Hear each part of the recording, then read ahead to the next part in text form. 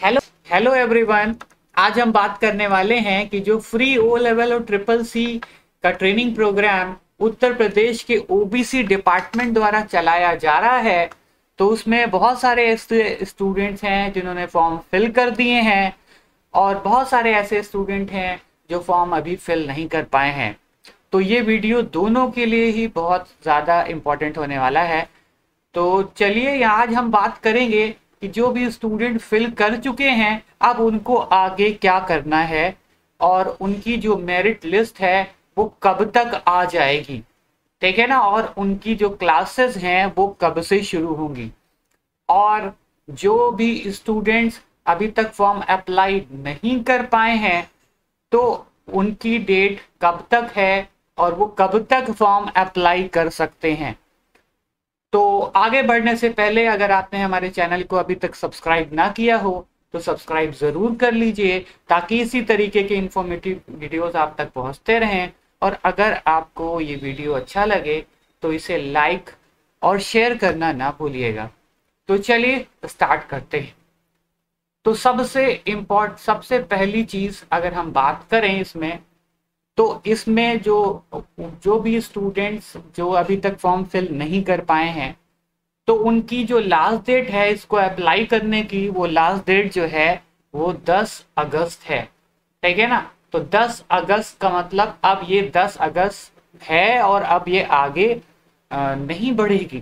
ठीक है ना? तो इसलिए आपने अगर अभी तक अप्लाई नहीं किया है तो आप ध्यान दें, अगर आपकी एज 18 से 35 साल है क्वालिफिकेशन इंटरमीडिएट है, और कैटेगरी आप ओबीसी में आते हैं, और आपकी जो है आय प्रमाण पत्र एक लाख से कम का बना हुआ है तो आप इसमें अप्लाई कर सकते हैं, और साथ ही साथ आप यूपी के रहने वाले हैं। और डॉक्यूमेंट्स हमने आपको बता चुके हैं पहले भी कि डॉक्यूमेंट्स के लिए आपको इसमें आपको एज के लिए हाई स्कूल सर्टिफिकेट देना होगा। क्वालिफिकेशन के लिए इंटरमीडिएट का सर्टिफिकेट चाहिए और कैटेगरी ओबीसी होनी चाहिए। एज इसमें 18 ज़रूरी है, बहुत सारे स्टूडेंट हैं जो 18 से कम हैं, वो परेशान हैं तो वो नहीं कर सकते हैं। इसमें एज 18 पूरी होनी चाहिए और इनकम जो है, वो आपकी एक लाख से कम और उसका सर्टिफिकेट तीन साल के अंदर का बना होना चाहिए। ठीक है ना? और ओ ओबीसी के लिए है तो अब ज़ाहिर सी बात है ओबीसी का सर्टिफिकेट तो इसमें लगेगा तो ये बात हम कर चुके हैं। तो अगर आपके पास ये सारे डॉक्यूमेंट्स पूरे हैं तो अभी भी आपके पास मौका है, आप इसको अप्लाई कर सकते हैं। 10 अगस्त तक, और हमने बताया है कि अप्लाई करने में जो है, आपको ये सारे डॉक्यूमेंट के साथ आपका जो है आधार कार्ड भी लगेगा और आपकी फोटोग्राफ भी लगेगी। और इसमें अप्लाई कैसे करना है? अप्लाई करने का प्रोसीजर हम पहले के वीडियोस में बता चुके हैं। कि बहुत ही आसान तरीका है। ये जो वेबसाइट है, उत्तर प्रदेश पिछड़ा वर्ग कल्याण विभाग की, यहाँ पर आपको जाना है OBC computer training dot UPSDC dot G O V dot in और कैसे अप्लाई करना है, इसका वीडियो हमने अलग से बनाया हुआ है और इसका लिंक जो है डिस्क्रिप्शन में दिया हुआ है। वहाँ पर जाकर आप देख सकते हैं।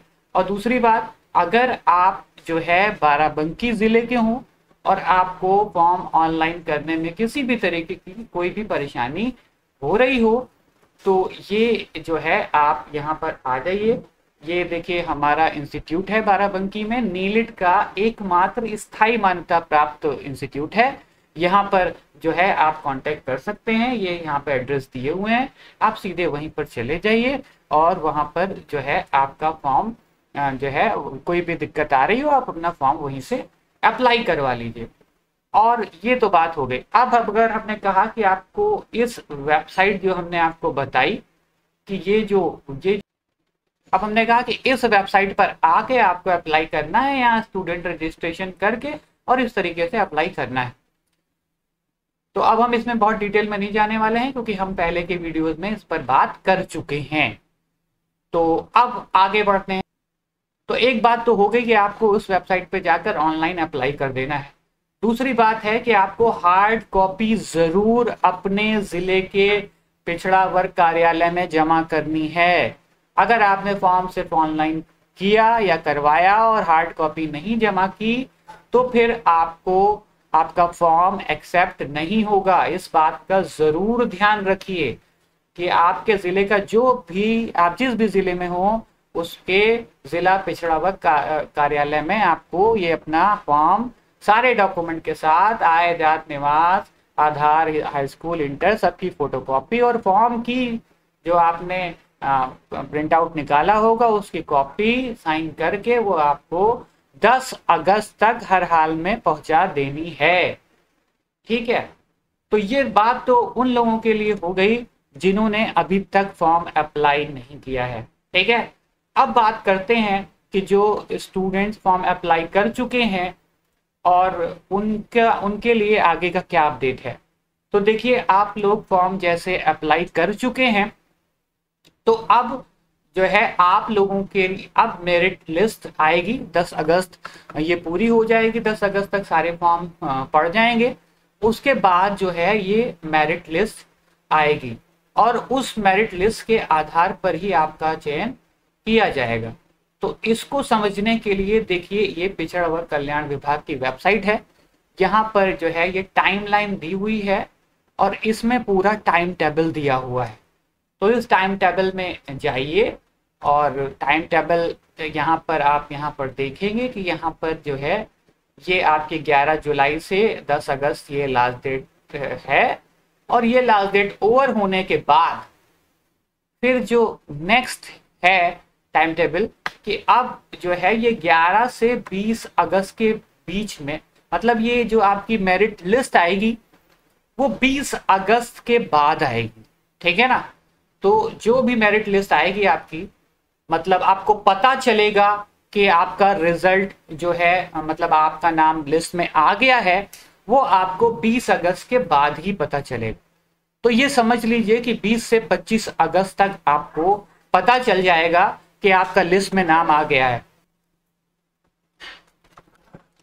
तो अब इसके बाद देखिए, बहुत सारे स्टूडेंट के क्वेश्चंस ये होते हैं कि, सर, हमारा नाम लिस्ट में आया या नहीं आया? ये बात हमें पता कैसे चलेगी?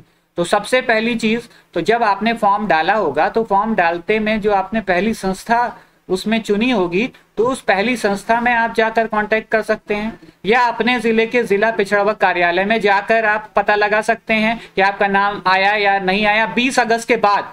ठीक है ना? ध्यान से सुनिएगा।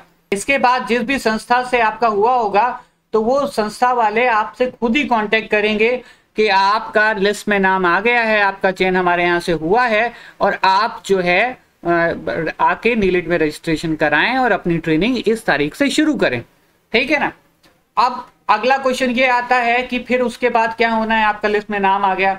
लिस्ट में नाम आ गया तो हमने बताया कि फिर आपके नीलिट में रजिस्ट्रेशन होंगे। ओ लेवल में है तो ओ लेवल में रजिस्ट्रेशन होगा। ट्रिपल सी में है तो ट्रिपल सी में रजिस्ट्रेशन होगा। और उसके बाद एक सितंबर 2021 से आपकी ट्रेनिंग शुरू होनी है इस टाइम टेबल के हिसाब से। ठीक है? तो उम्मीद करते हैं आपको ये बात पूरी क्लियर हो गई होगी। कि जो है, अब आपको इसमें ये जो आपका फॉर्म फिल होने के बाद फिर आगे आपको क्या करना है। तो अगर आपको वीडियो अच्छा लगा हो तो इसे लाइक ज़रूर करिए, और अगर आपने चैनल को अभी तक सब्सक्राइब ना किया हो तो सब्सक्राइब ज़रूर कर लीजिए, ताकि इसी तरीके के इंफॉर्मेटिव वीडियोस आप तक पहुँचते रहें। Take care good bye see you next time